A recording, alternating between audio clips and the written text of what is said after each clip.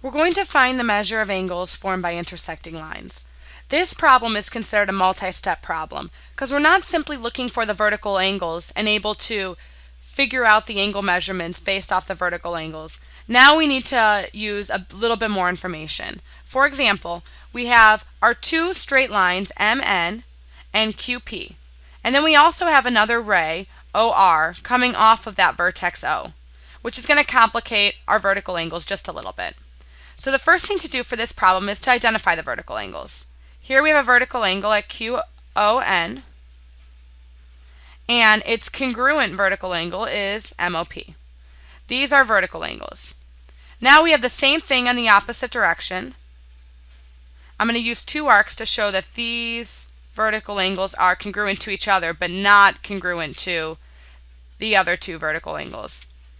And here we show that these opposite angles here MOQ, which I'm going to make a note of up here,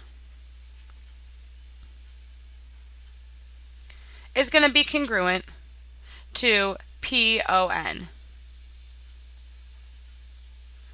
So that's MOQ is this whole angle right here is going to be congruent to PON. Well, PON is actually where angle A is, which is going to be helpful for us when we try to solve for that missing angle measurement. And we already know the measure of MOQ. We know that the measure here of ROQ is 48 degrees, and the measure here of MOR is 90 degrees.